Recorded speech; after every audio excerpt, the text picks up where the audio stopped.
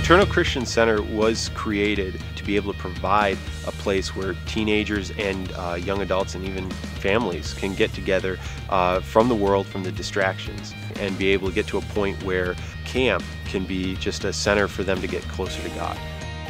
Student groups here, um, the time to connect with students at a different level has been life-changing for a lot of those students, uh, some of which are on the mission field today as a result of their experience in serving at LeTourneau.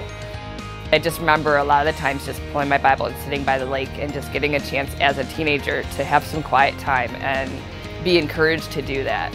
The impact that LeTourneau Christian Center has had on this community has been amazing.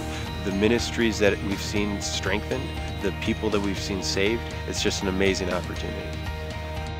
Our present need is ownership of the property. And our goal is, once we take ownership of the property, is to upgrade our facilities.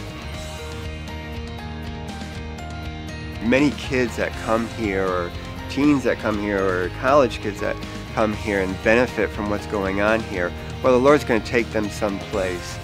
And they don't even know. I didn't know I was going to be in China, but the Lord was um, molding me and using me through, um, through the time here.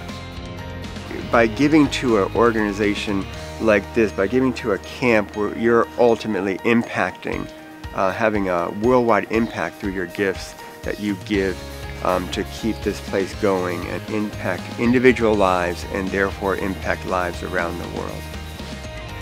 You can be a part of our future by giving financially or by praying, and you can impact lives for years to come.